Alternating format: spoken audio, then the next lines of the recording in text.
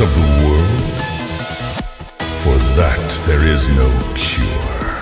My hand sent a hundred tyrant kings to their graves. I could not kill suffering. To be human is to suffer. And so I would cast aside that fatal weakness to become something more.